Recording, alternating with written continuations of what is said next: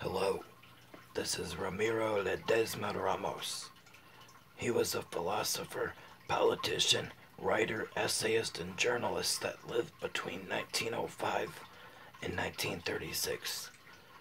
He was executed at the age of 31 after being imprisoned for espionage.